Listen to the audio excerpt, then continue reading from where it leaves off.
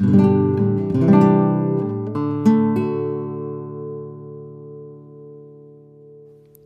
ihr Lieben und herzlich willkommen zum Einschlafen Podcast Episode 531. Ich musste glatt nachgucken. Ähm, ich bin Tobi. Ich lese euch heute Goethe vor aus der italienischen Reise. Davor gibt es ein bisschen Rainer Maria Rilke und davor ähm, erzähle ich euch ein bisschen was aus meinem Leben, damit ihr abgelenkt seid von euren eigenen Gedanken und besser einschlafen könnt. Aus meinem Leben sage ich sonst nicht. Ne? Stimmt aber diesmal auf jeden Fall, denn das Thema der heutigen Sendung ist sehr persönlich. Ich hoffe, ihr könnt trotzdem einschlafen.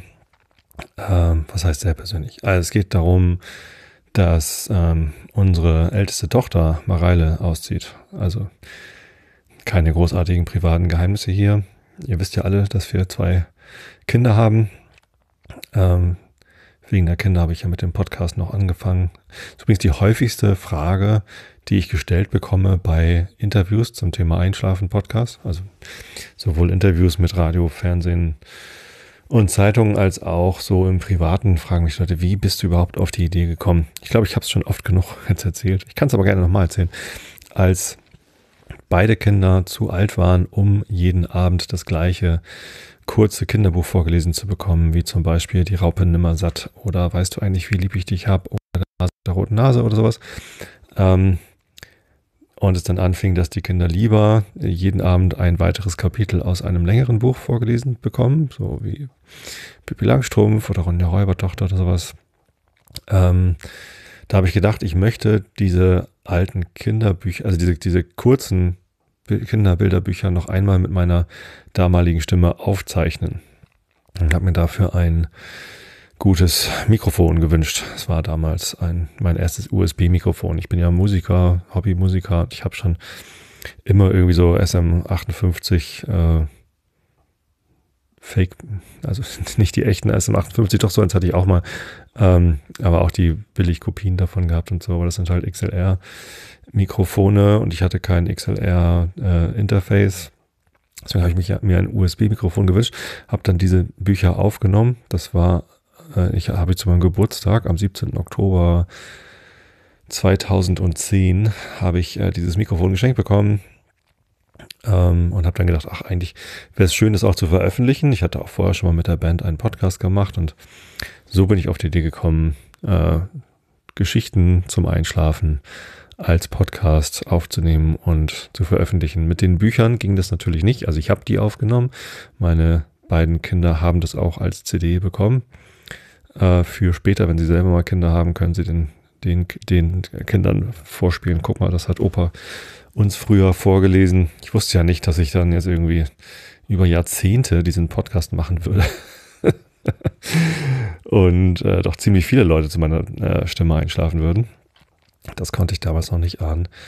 Ähm, die konnte ich natürlich nicht veröffentlichen, diese Bücher, weil ähm, da natürlich Verwertungsrechte drauf sind, die ich nicht verletzen wollte. Deswegen bin ich zu diesen Public Domain, äh, gemeinfreien, verwertungsrechtefreien Büchern gekommen.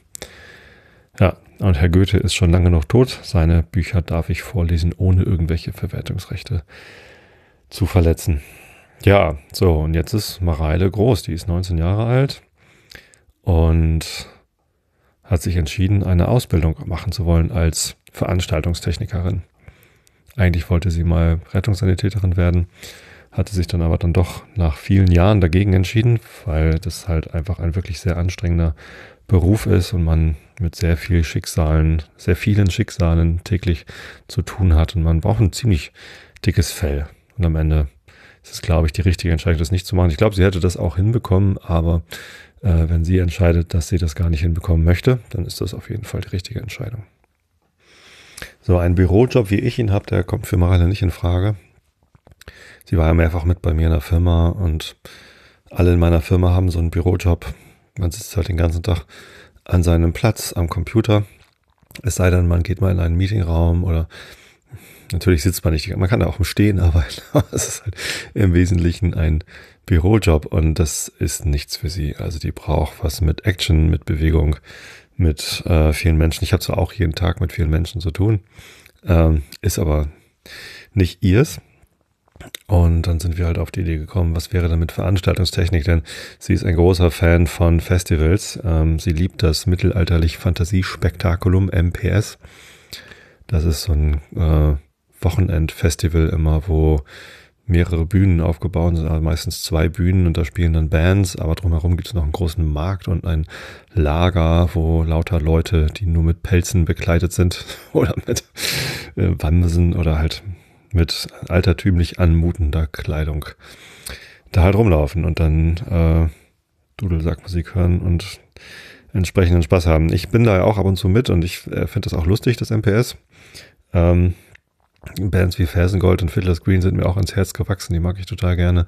Andere Bands dort sind ja nicht so mein Geschmack, äh, aber äh, sei es drum. So, Mareile geht daran auf und sie liebt das und ähm, also sind wir drauf gekommen, dass die Veranstaltungsbranche vielleicht auch das Richtige für sie wäre und haben dann halt geguckt, hier in der Nähe gibt es einen Ausbildungsbetrieb ähm, von jemandem, den ich auch von früher noch kenne den ich sogar in meinem Buch erwähnt habe, also ein Einschlafen-Podcast-Buch. Kurzer Hinweis noch, äh, weiß ich nicht, dieses Jahr noch, 2023, könnt ihr es bestellen, falls ihr es noch nicht habt oder falls ihr noch eins haben möchtet, dann wird es, also spätestens Ende des Jahres wird es beim Top-Verlag aus dem Programm genommen, mik.fm slash Buch. Da kommt ihr auf äh, die Einschlafen-Podcast-Seite, wo ich das Buch erkläre und findet ihr einen Link, wo ihr es bestellen könnt. Also solltet ihr dann vielleicht noch machen, wenn ihr es haben wollt. Genau, da in einem Klappentext erwähne ich den Gro, genau. Aber Gro, die Stelle äh, hat sie nicht bekommen. Äh, es gibt auf all diese Stellen auch immer viele Bewerber, die dann eben auch schon Banderfahrung haben und schon wissen, wie ein Mikrofon an ein Mischpult angeschlossen wird und sowas alles. So ein bisschen was davon weiß Mareile auch, allein durch die Podcasterei. Sie hat ja auch mit gepodcastet hier. Ähm, aber andere hatten da wahrscheinlich bessere Voraussetzungen. Ähm, Sei es drum. Und genau, dann haben wir halt gesucht, wo kann man sich denn noch bewerben. Hamburg wäre natürlich nicht schlecht gewesen, weil es näher dran wäre. Ähm, König der Löwen, also Stage Theater, ähm, war sie auch ziemlich lange im Prozess. Dann ist dann aber auch jemand anders geworden. Und da wäre es ja aber auch schon schwierig geworden mit Wohnen. Also hätte sie ja auch zu Hause wohnen bleiben müssen. Wahrscheinlich denn eine Wohnung in Hamburg kann man von dem Gehalt von so einem Azubi halt auch nicht wirklich bezahlen. Wohnungen in Hamburg sind halt teuer. Und dann haben wir in anderen Städten geguckt und äh, ich hatte auch auf Twitter und Mastodon ganz viele Empfehlungen bekommen, wo man das denn gut lernen kann. Und letztendlich ist es Koblenz geworden. Das heißt, meine Große zieht im Juli nach Koblenz. Im August fängt die Ausbildung an beim kleinen privaten oder größeren privaten Betrieb. So groß sind die, glaube ich. Ich weiß nicht, wie groß die sind, ehrlich gesagt. Ich habe keine Ahnung.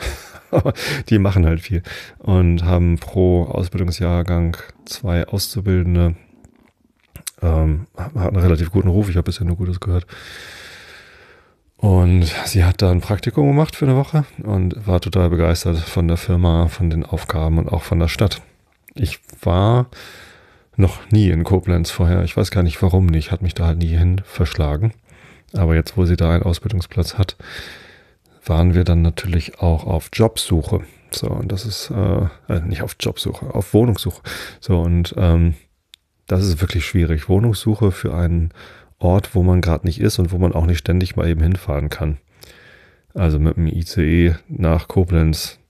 Ähm, also erstmal muss man ja nach Bremen oder nach Hamburg und dann mit dem ICE da runterfahren. Dauert halt irgendwie so fünf Stunden oder so. Oder sechs mit Umsteigen und keine Ahnung was. Äh, wie ich zum Thema Bahnfahren stehe, habe ich, glaube ich, in der letzten Episode gesagt, eigentlich bin ich großer Fan vom Bahnfahren, weil es nicht so anstrengend ist wie Autofahren und man sich irgendwie, ja, gerade im ICE kann man halt aufstehen ins Bordrestaurant und sich was holen oder weiß ich nicht, äh, Augen zumachen und so. Ähm, beim Autofahren ist das ein bisschen schwieriger. Also als Beifahrer kann man natürlich auch mal die Augen zumachen, aber ähm, auch nicht immer. So, äh, theoretisch Bahnfahren gut. Ähm, praktisch äh, bin ich halt mehrfach auf die Fresse gefallen in den letzten Monaten und ich habe einfach im Moment keinen Bock auf Bahnfahren. Deswegen sind wir jetzt am Montag, am Pfingstmontag sind wir mit dem Auto runtergefahren. Ich habe ich festgestellt, es ist ja auch nochmal günstiger mit dem Elektroauto zu zweit äh, nach, nach Koblenz runterzufahren. Ich habe gemessen, wir haben 200 Kilowattstunden Strom verbraucht äh, bei einem Preis von 60 Cent pro Kilowattstunde bei den Ionity-Tankstellen sind das also 120 Euro ähm, an Stromkosten. Natürlich muss ich das Auto noch bezahlen, Versicherung, keine Ahnung was. Ähm, aber ähm, allein Spritpreis sozusagen, die Stromkosten waren 120 Euro zu zweit nach Koblenz hin und zurück. Also mit der Bahn hätte ich das, glaube ich, nicht geschafft. Also 30 Euro pro Strecke, unwahrscheinlich. Also man könnte natürlich das Deutschland-Ticket nehmen. Da wären wir einen Ticken günstiger unterwegs gewesen. Also schon. Ähm, und das Deutschland-Ticket ist natürlich auch aus anderen Gründen noch interessant. Und ich habe sogar eins. So, aber trotzdem, also dann mit Regionalzügen nach Koblenz, das ist dann von hier aus doch ein bisschen unangenehmer. Nee, wir sind das Auto gefahren. Ähm, es ist sehr praktisch. Am Kamener Kreuz oder kurz hinter dem Kamener Kreuz an der A1 gibt es einen großen ENBW-Ladepark äh, mit 52 Ladeplätzen. Da habe ich jetzt schon dreimal geladen und äh, wir haben am Montag auf dem Hinweg tatsächlich einen neuen Highscore gelandet. Da waren nämlich acht Autos da. Ansonsten ist das so ein großer Parkplatz mit Solardach und äh, lauter, also 52 Ladeplätzen für Elektroautos und dann stehen da halt meistens so zwei oder drei. Und acht war mein Highscore. Also ja, das ist für die Zukunft gebaut. Das ist super und ich freue mich total, dass es da ist. Und irgendwann wird sicherlich der Zeitpunkt kommen, wo man dann eben nicht unbedingt sofort einen Ladeplatz bekommt, aber für die nächsten paar Jahre ist es, glaube ich, noch relativ safe. Äh, und bei diesem Ladepark sind auch noch irgendwie eine Osteria, also dieser Italiener mit der Riesenpizza, äh, der auch ganz leckere Nudeln und, und Risotto ist auch ganz okay, ne, Osteria. Und ein KFC und ein McDonalds und ein Burger King. So ein paar Schnellrestaurants sind da. Das heißt, die halbe Stunde Ladezeit, die wir noch mit einplanen müssen, äh, lässt sich auch ganz gut verbringen. Ja, ähm, Genau, insofern, und, und das liegt halt irgendwie 290 Kilometer von hier. Das heißt, da kommen wir ganz gut hin. Mit einem Puffer von, was hatten wir, 50 Kilometer oder so. Und dann laden wir da eben. Äh, und von da aus dann nach Koblenz kommt man auch in einem Rutsch. Das heißt, auf der Fahrt brauchen wir nur einmal zu laden. Natürlich muss man vorher und dann in, in Koblenz laden, um dann wieder zurückzukommen. Und auf der Rückfahrt nochmal laden. Ähm, alles nicht schlimm. Also das Auto hat sich bewährt, würde ich sagen, für, für diese Reise. Das ist echt ganz, ganz cool. Nur die Straße ist natürlich genauso katastrophal wie die Bahn. Also die A1 ist auch voller Baustellen. Äh, dann müssen wir da noch was, die A3, A48, irgendwie sowas fahren. Ähm, und überall sind Baustellen. Und irgendwie, ja, versteht man das auch nicht immer. Also warum überall gleichzeitig Baustelle sein muss. In Hamburg ist ja auch die A7 vorm Elbtunnel. Da ist jetzt irgendwie seit seit 50 Jahren eine Baustelle und die kriegen sie mir nicht hin. Egal, steht man halt ein bisschen im Stau. Mir ist es nur immer peinlich, wenn ich alleine im Auto bin und im Stau stehe. Dann gucke ich immer zu den anderen Autos rüber, die sind auch alle alleine in ihren Autos und dann denkt man sich, ja, wenn wir ein bisschen schlauer wären, also nicht wir, die wir dort sitzen, sondern wir als Gesellschaft, wäre es doch irgendwie möglich, dass äh, mehr Personen pro, äh, pro Sitzplatz, also ich, ich habe fünf Sitzplätze in meinem Auto, wenn da nur eine Person drin ist, dann ist halt nur ein Fünftel aller Sitzplätze belegt. Wäre halt besser, wenn, wenn der Durchschnitt ein bisschen höher wäre. Fahrgemeinschaften mitnehmen, keine Ahnung, oder halt mehr Busse. Aber nein, wir müssen alle allein in einem großen Pkw sitzen und allein in dem Stau stehen und wundern uns, dass es ein Stau ist. Ja. Ähm, Genug dazu. Also Koblenz. Wir sind am Montag nach Koblenz gefahren. Ich war zum ersten Mal in Koblenz. Allein die Anfahrt ist dann ja schon schön, wenn man da ins Rheintal reinguckt und ja, reinguckt. Sehr lustig. Ähm, Koblenz ist ja am deutschen Eck oder das deutsche Eck ist in Koblenz. So heißt der Ort, wo die Mosel in den Rhein reinfließt. Ich weiß gar nicht genau warum. Ich habe immer gedacht, die Mosel wäre rechtsrheinisch, also in, in Fließrichtung, also quasi ähm, östlich vom Rhein. Habe ich wohl mit dem Main verwechselt. Der ist ja östlich vom Rhein. Das ist ja, der Main ist ja der, der Weißwurst-Äquator. Habe ich früher in der Schule mal gelernt. Nördlich vom Main soll man keine Weißwurst essen. Ich weiß nicht, warum ich das gelernt habe und warum ich mir das gemerkt habe. Das ist ein total alberner äh, äh, alberne Aussage. Ich fand nur den Begriff Weißwurst-Äquator so lustig, dass ich mir den gemerkt habe. Und das ist der Main. Ähm, die Mosel fließt natürlich von äh, links, also von Westen äh, in den Rhein. Und das passiert in Koblenz. Ähm, und ja, wir sind ähm, mit dem Auto da über die Rheinbrücke gefahren und haben auch den Main überquert, aber noch nicht gleich. Wir sind nämlich erstmal in das Industriegebiet gefahren, wo Mareiles Arbeitgeber ist und haben da so zwei Straßen ausgekundschaftet, wo Wohnungen sind, die wir potenziell besichtigen könnten. Und die eine Gegend war schon sehr, äh, es ist halt Industriegebiet und dann irgendwie Wohngebiet hinterm Industriegebiet. Und es ist schon so ein bisschen versteckt irgendwie alles. Ähm, aber ja, ähm, wir haben dann am, am Dienstag früh die eine Wohnung besichtigt ähm, ich hatte mich vorher nochmal mit äh, Christian, dem Easy von der Hörsuppe, ähm, kurz geschlossen. Der äh, wohnt ja in Kobern, also in der Nähe von Koblenz und ähm, habe ihn gefragt, wie da so die Stadtteile sind, ähm, ob man da hinziehen kann, ohne äh, in Gefahr zu laufen. ich kenne mich halt in Koblenz nicht aus. Ähm, und er hat mir bestätigt, dass da, also wo, wo dann diese Wohnung war, dass es da ganz okay ist, da zu wohnen.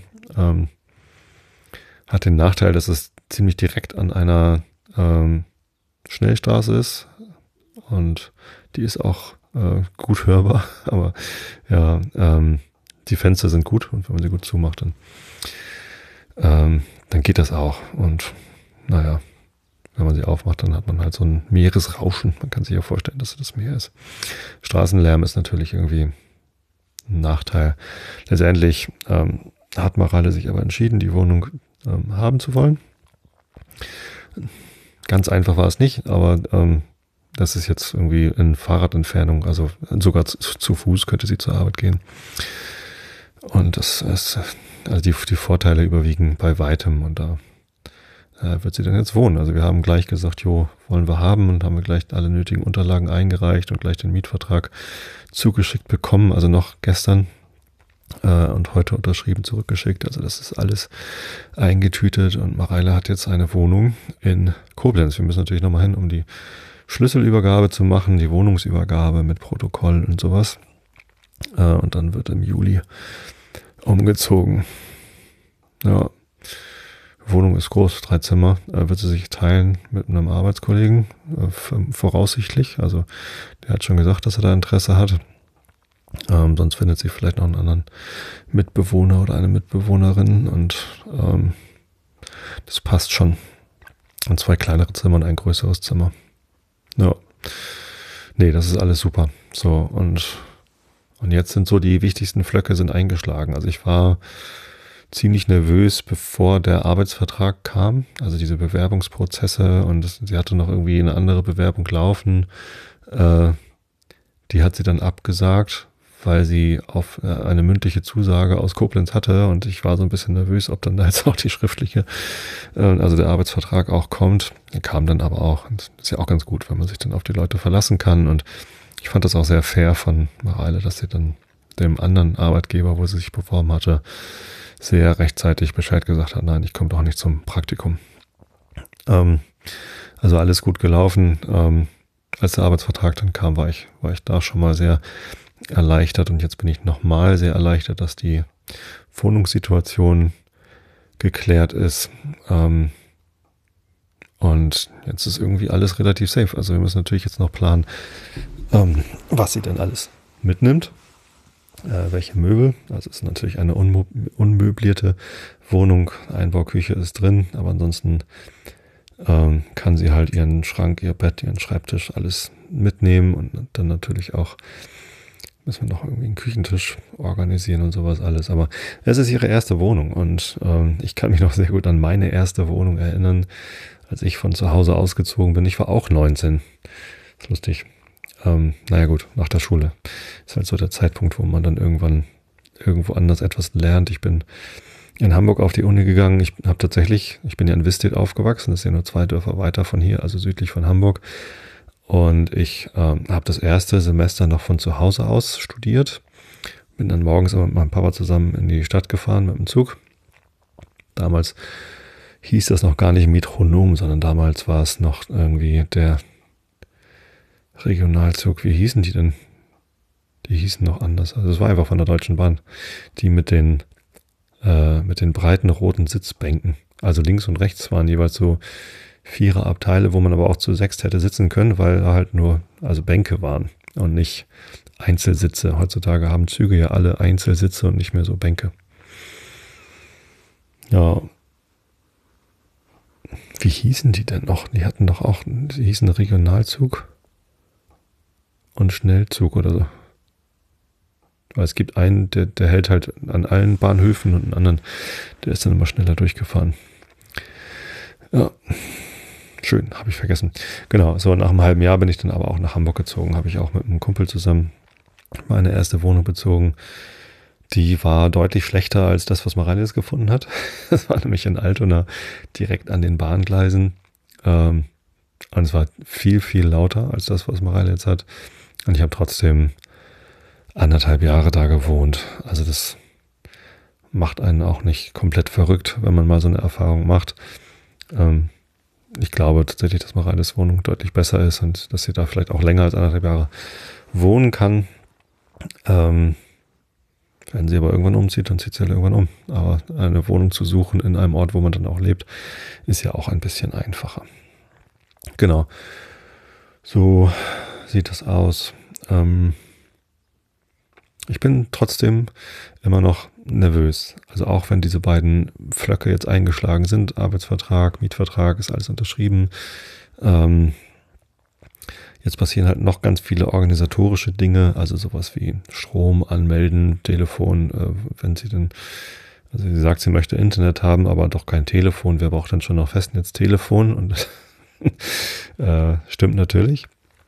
Ähm, aber wo soll das Internet dann rauskommen, wenn nicht aus der Telefondose? Ja, vielleicht aus der Kabel, aus dem Kabelanschluss im Haus. Aber ich, ja, keine Ahnung. Das kann dann vielleicht auch Mareile allein entscheiden, was sie denn für ein Internet buchen möchte.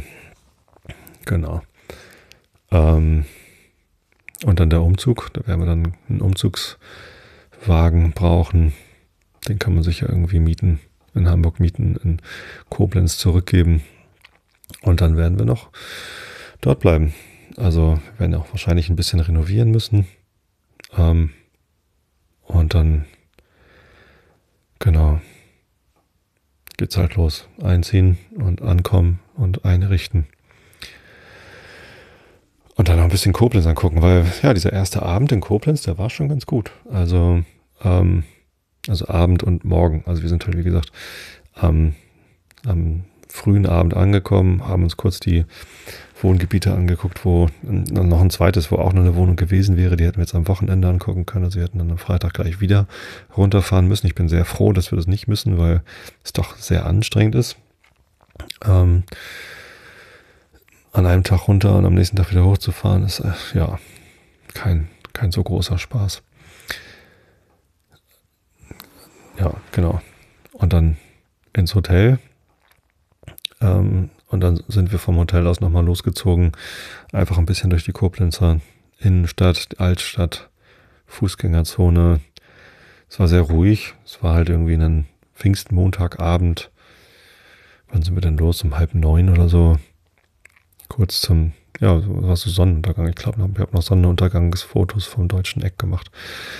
Sind wir dahin gelatscht zum Wasser, zur Mosel, zum Rhein. Seilbahn angeguckt. Die waren natürlich schon äh, außer Betrieb. Die war dann schon im Feierabend. Da fährt eine Seilbahn vom Rheinufer über den Rhein hoch zur Festung Ehrenbreitstein.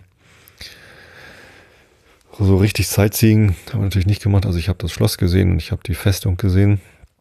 Ich habe auch die Stadthalle gesehen, die Rhein-Mosel-Halle oder wie die heißt. Und ähm, Mareile hat schon gesagt, wo sie überall schon Sachen aufgebaut hat. Aber drinnen waren wir natürlich nirgends. Stattdessen sind wir halt nur so ein bisschen durch die Straßen gezogen, haben noch irgendwo im Lokal an irgendeinem kleinen Platz ein bisschen Wein getrunken, Pommes gegessen. Ähm, Trüffelpommes. Waren sehr gut. Wie hieß der Laden? Adagio oder so? An irgendeinem kleinen Platz halt da in der, in der Altstadt. Und na, das war sehr nett. Genau, wir haben im Hotel gepennt. Frühstück war gut. Es gab auch mein geliebtes Rührei.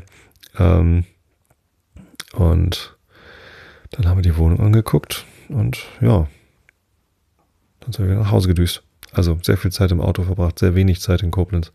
Und ich freue mich drauf, dann im, im Juni werde ich halt hinfahren, eine Wohnungsübergabe machen. Vielleicht bleibe ich noch einmal ein paar Tage da. Guck mal Koblenz an. Und im Juli dann auf jeden Fall so zwei Wochen oder so Urlaub in Koblenz. Warum nicht? Da gibt es viel zu erkennen. Ich habe schon ganz viele Tipps bekommen. Äh, der Klettersteig im, äh, in Boppard soll gut sein und auch so lauter Ausflugsideen haben wir schon. Aber wir werden ja jetzt auch öfter in Koblenz sein und ja, vielleicht können wir ein Hörertreffen machen. Ich habe ja mal Hörertreffen in Hamburg gemacht und eins in München und auch eins in Berlin. Äh, falls es Koblenzer gibt, die Lust haben auf ein Hörertreffen, sagt mal wo und dann können wir uns vielleicht äh, Mitte Juli irgendwann auf ein Bierchen treffen. Oder Wein, ich meine, das ist ja die Weingegend, Entschuldigung. Oder natürlich auch alkoholfreie Getränke, selbstverständlich. ja, oder wir treffen uns am deutschen Eck und ich lese Goethe vor. Das wäre doch auch total passend. Nein, das machen wir natürlich nicht. Also Goethe vorlesen mache ich natürlich nicht. Hörertreffen vorlesen, wie wäre das denn? Ja, ähm, so viel zu äh, zu dem Umzug äh, und was es mit mir macht. Na gut, ich habe ja noch gar nicht erzählt, was es mit mir macht. Also die Anspannung war natürlich einerseits groß, weil so viel zu organisieren ist, weil immer noch so viel zu organisieren ist. Und äh, ich als Vater bin natürlich sehr darauf bedacht, dass es alles gut funktioniert. Und Maral ist auch sehr dankbar, wie sehr ich sie da unterstütze, weil ich halt auch viel übernehme mit der Kommunikation mit Vermietern und keine Ahnung was. Ähm, Andererseits bin ich natürlich angespannt, weil mein Kind auszieht. Das ist eine, eine, Veränderung auch in der ganzen Dynamik hier zu Hause. Wir haben dann halt nur noch ein Kind hier zu Hause, nicht mehr zwei. Ähm, da wird sich vieles verändern. Also ich glaube, auf der Rückfahrt dann im Juli aus Koblenz, wenn wir dann unser Kind dort lassen, ähm, das äh, wird schwierig, dann ein Auto zu fahren, wenn man die ganze Zeit am Heulen ist. Also es wird mir sehr, sehr schwer fallen. Das weiß ich jetzt schon. Das weiß ich aber auch schon seit 19 Jahren. Also seit Mareile geboren ist, weiß ich, irgendwann wird sie vermutlich ausziehen. Ähm, ich habe mir das auch immer mal wieder gesagt, um mich darauf vorzubereiten. Kann man natürlich drüber nachdenken, ob das so sinnvoll ist, äh, sich 19 Jahre lang zu sagen, dass man irgendwann sehr, sehr traurig sein wird äh, und sich darauf vorzubereiten, wenn man dann doch hart getroffen sein wird. Ähm, Letztendlich habe ich aber nicht darunter gelitten, dass ich mir das gesagt habe, sondern es war ständig so dieser Realitätscheck. Ich glaube, ich habe das auch häufig laut gesagt. Naja, in, in so und so vielen Jahren wird sie dann ja vielleicht ausziehen und so. Einfach nur um, weiß ich nicht, wenn man mit einem kleinen Kind unterwegs ist und das dann irgendwie anderen Leuten gegenüber sagt, fand ich es auch mal lustig, die damit zu überraschen, dass ich mich dann schon darauf vorbereite, dass sie irgendwann ausziehen. Ähm, aber es war halt tatsächlich irgendwie ein, ein Impuls von mir, mich dessen ständig zu vergegenwärtigen, dass das keine Situation für immer ist, aber was ist auch schon für immer. Ähm, und es ist nicht so, dass ich jetzt diese 19 Jahre, die wir zusammen gehabt haben, irgendwie, dass die schlechter gewesen wären, weil ich mir das öfter mal bewusst gemacht habe, sondern die waren natürlich ganz fantastisch. Also wir haben zum Glück eine, eine sehr, sehr gesunde, heile Familie. Es ist alles ganz wunderbar. Ähm, sehr glücklich alle miteinander. Und das macht es natürlich dann auch äh, leichter, glaube ich. Nur vielleicht wäre es noch leichter, wenn das Kind auszieht, äh, wenn man kein gutes Verhältnis gehabt hätte, aber dann wären die 19 Jahre nicht, ja nicht so gut gewesen. Nee, es ist schon alles gut. So, das gehört jetzt halt dazu. Und Mareile wird auf ihren eigenen Füßen stehen. Die ist jetzt erwachsen mit 19 Jahren.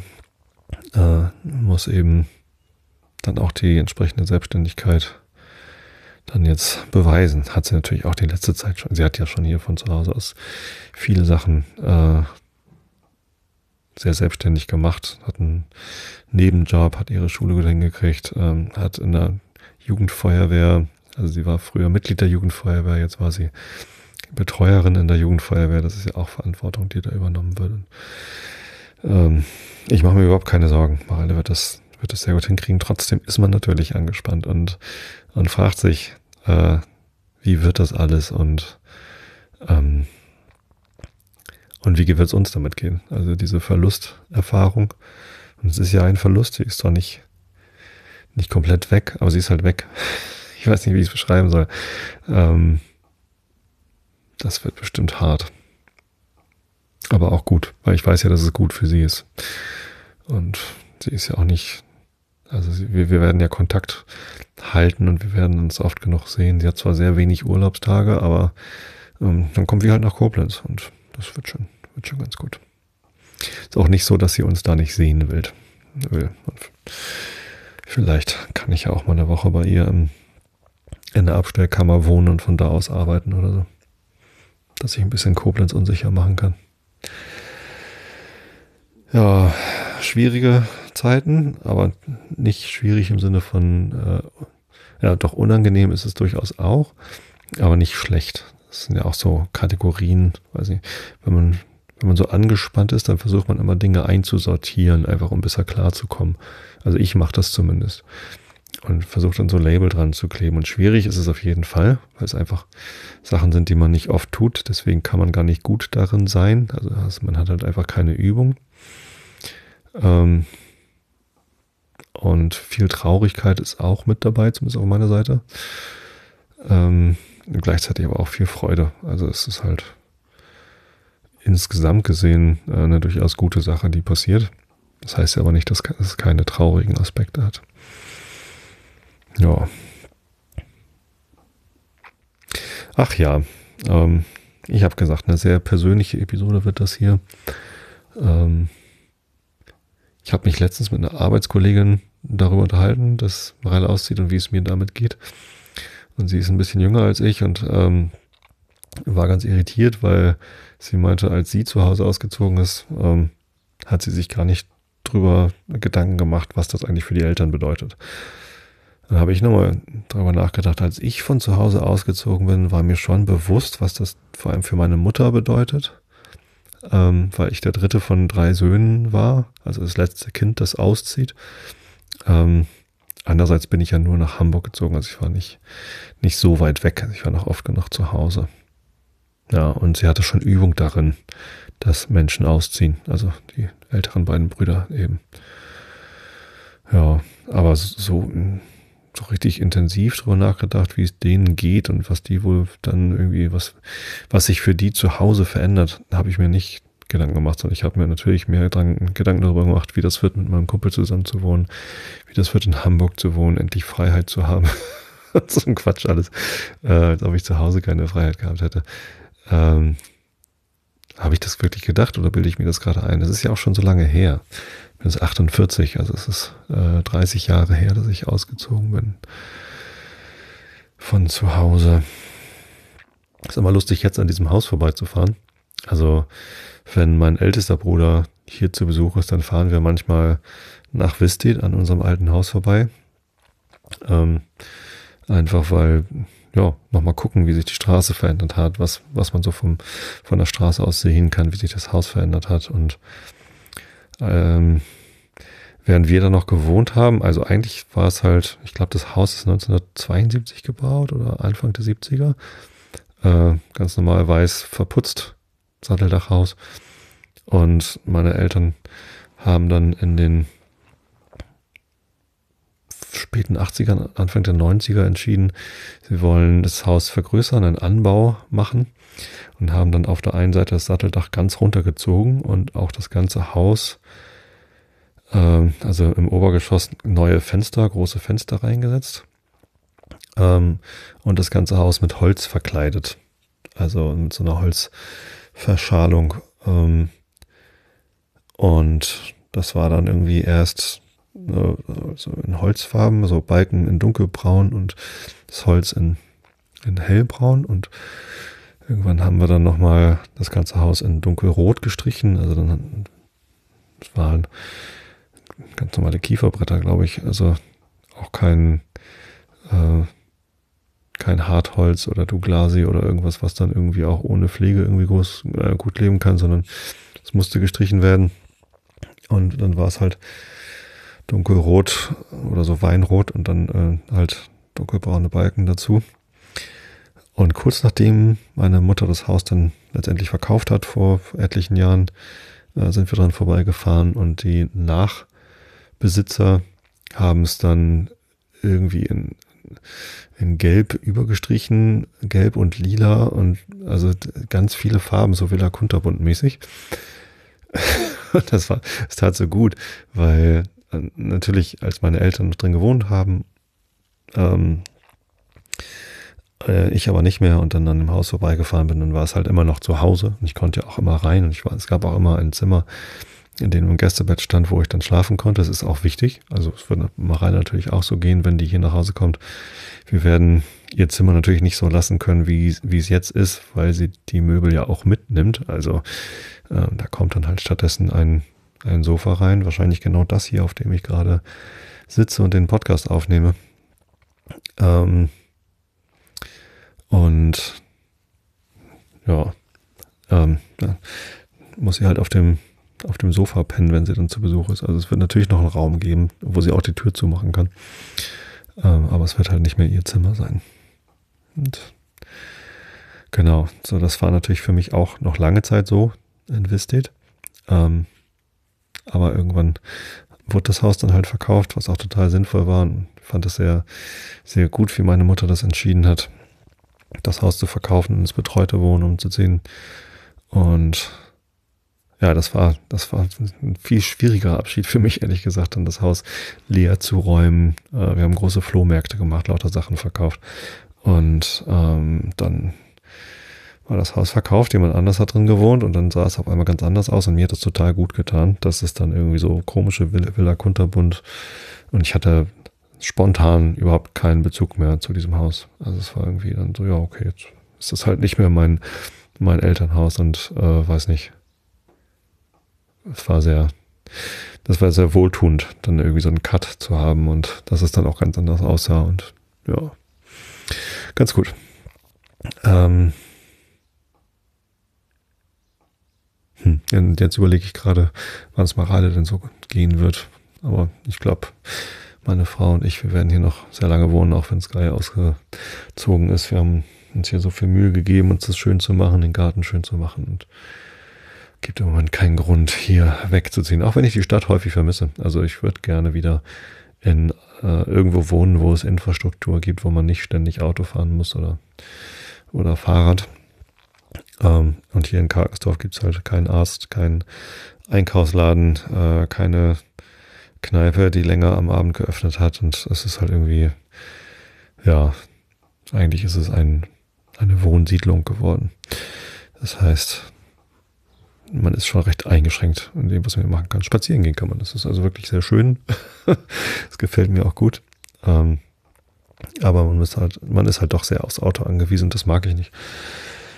Ähm, in der Stadt zu wohnen. Ich habe elf Jahre in Hamburg gewohnt äh, mit irgendwie, man kann zu Fuß einkaufen, zu Ärzten, zu was ich jetzt Kino, abends in Kneipen oder was auch immer. Also man hat das natürlich dann nicht jeden Abend gemacht, aber ähm, allein die Möglichkeit zu haben, gibt einem ein anderes Gefühl, als die Möglichkeit hier halt nicht zu haben. Ja, aber das heißt ja nicht, dass wir sofort äh, umziehen wollen oder müssen. Ja. Ähm, genau, das sind spannende Veränderungen in meinem Leben. Ähm, und ich werde euch auf dem Laufenden halten, wie es mir damit geht und wie es dann weitergeht. Bevor es jetzt aber für euch ins Bett geht oder falls ihr noch nicht schlaft, ähm, kann ich euch jetzt noch ein bisschen was vorlesen.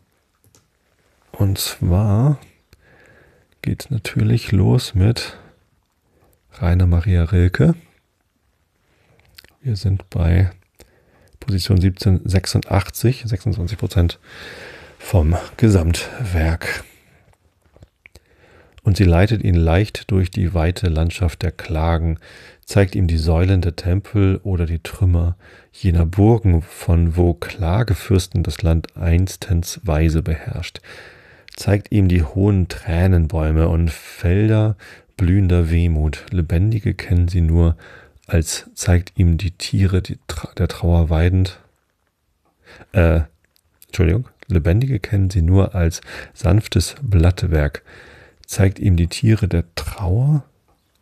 Also ich finde den Zusammenhang hier gerade gar nicht.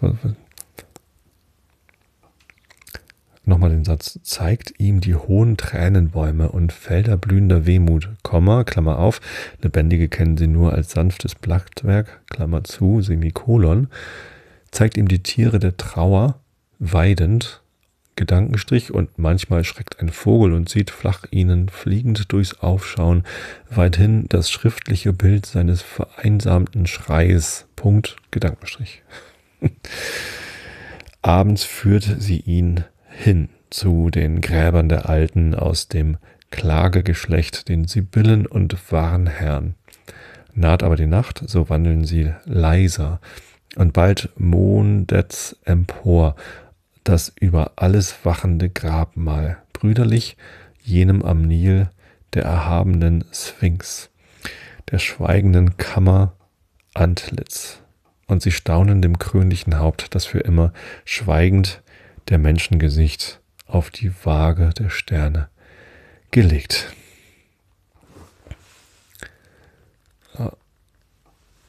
Äh, mache ich eine Notiz, Episode 531. Und so viel zu Herrn Rilke. Kommen wir zu Herrn Goethe. Der ist auf seiner italienischen Reise, glaube ich, immer noch in Venedig, oder? Schlag das Buch mal auf. Ja, genau. Da sind wir, Johann Wolfgang von Goethe, die italienische Reise, bei Position 11, 16, 13 Prozent. Den 6. Oktober. Augen zu und zugehört. Die Tragödie gestern hat mich manches gelehrt.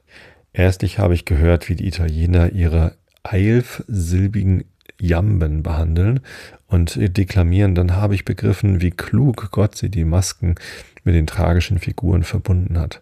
Das ist das eigentliche Schauspiel für dieses Volk, denn es will auf eine krude Weise gerührt sein. Es nimmt keinen innigen, zärtlichen Anteil am Unglücklichen. Es freut sie nur, wenn der Held gut spricht, denn aus Reden halten sie viel, sodann aber wollen sie lachen oder etwas Albernes vornehmen. Ihr Anteil am Schauspiel ist nur als an einem wirklichen. Da der Tyrann seinem Sohne das Schwert reichte und forderte, dass dieser seine eigene gegenüberstehende Gemahlin umbringen sollte, fing das Volk laut an, sein Missvergnügen über diese Zumutung zu beweisen und es fehlte nicht viel, so wäre das Stück unterbrochen worden. Sie verlangten, der Alte solle sein Schwert zurücknehmen, wodurch denn freilich die folgenden Situationen des Stücks wären aufgehoben worden.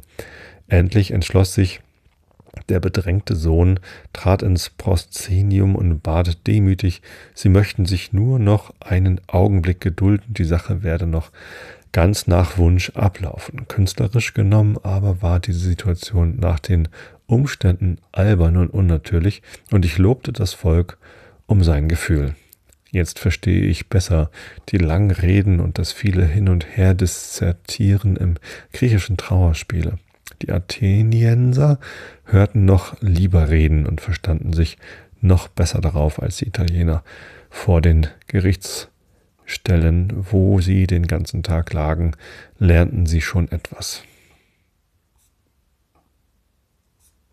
geht es weiter nochmal mit 6. Oktober.